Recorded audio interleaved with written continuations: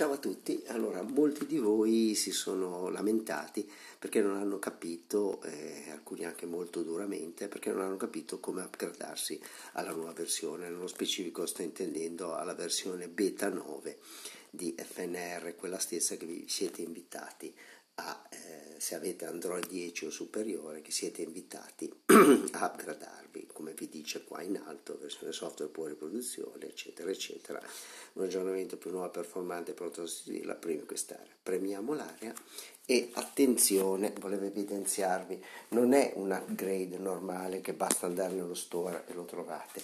Come viene detto e spiegato qua chiaramente, si tratta di unirvi al programma beta ok? Programma beta.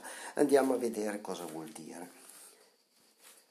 Perché ho fatto questo? Ho fatto questo perché chi è che non gli piacesse la nuova versione può comunque tornare indietro alla versione 8. Se fossi passato direttamente alla versione 9, vi trovate la versione 9 e non potevate più tornare indietro alla precedente. Quindi è stata una buona azione, non una cattiva azione per, diciamo, eh, mettervi in difficoltà. Allora, mm, ecco, vedete qua eh, la nostra pagina, del, la pagina del nostro lettore notifiche, andate un po' sotto e troverete partecipa al programma beta, partecipiamo al programma beta, eccetera, legherà e così via, ed ecco qua, aggiunto al programma beta in corso, l'operazione potrebbe richiedere qualche minuto.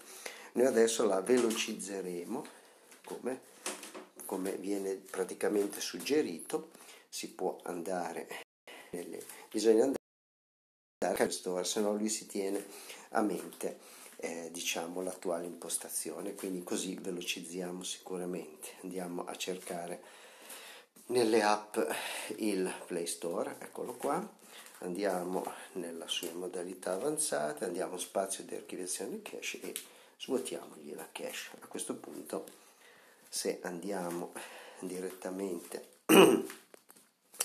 nel Play Store andiamo di nuovo a cercare il nostro lettore notifiche.